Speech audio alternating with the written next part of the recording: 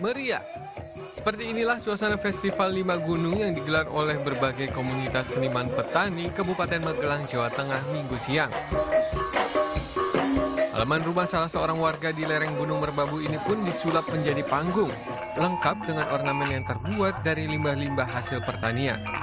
Hanya itu, bahkan kostum yang digunakan para seniman pun sebagian besar juga berasal dari alam. Festival ini sebagai hajat pesta seni para seniman dari berbagai komunitas kesenian tradisional yang berada di lima gunung di Kabupaten Magelang, yakni Merapi, Merbabu, Sumbing, Menoreh, dan Andong.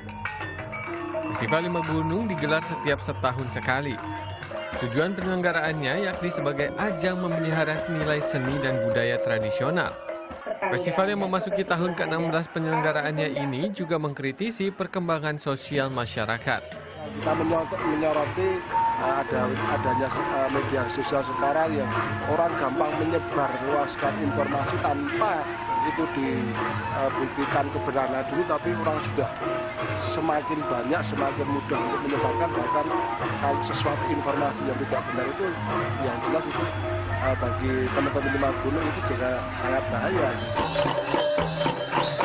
hanya diisi seniman lokal, sejumlah seniman dari berbagai daerah di Indonesia juga meramaikan festival ini. Nah, di sini adalah salah satu wadah kita untuk bersinergi, baik itu, itu antara seniman uh, dari berbagai daerah, juga kita bersinergi dengan alam, dengan masyarakat sekitar, tidak hanya bersosialisasi seni saja.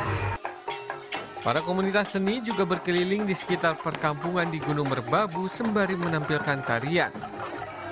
Masyarakat pun semakin antusias, tumpah ruah memadati sepanjang jalan. Widodo Setiawan melaporkan untuk NET.